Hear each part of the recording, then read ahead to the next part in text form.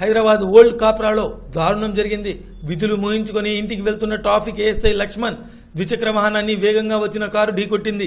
తీవ్ర గాయాలతో ప్రాణాపాయ స్థితిలో కొట్టుమిట్టాడుతున్న పట్టించుకోకుండా కారులోని వ్యక్తులు వెళ్ళిపోయారు. ఈ ఉదంతమంతా అక్కడే ఉన్న సీసీ కెమెరాలో రికార్డైంది తీవ్ర గాయాలతో కొట్టుమిట్లాడుతున్న క్షతగాత్రుణ్ణి స్థానికులు చికిత్స కోసం ఆసుపత్రికి తరలించారు. ఆసుపత్రిలో చికిత్స పొందుతూ ఏఎస్ఐ లక్ష్మణ్ మృతి చెందారు. మియాపూర్ ట్రాఫిక్ ఏఎస్ఐగా లక్ష్మణ్ పనిచేస్తున్నారు.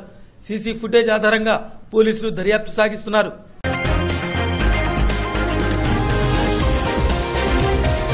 వైఎస్ జగన్ ప్రజా సంకల్పన యాత్రకు సంబంధించిన వివరాలను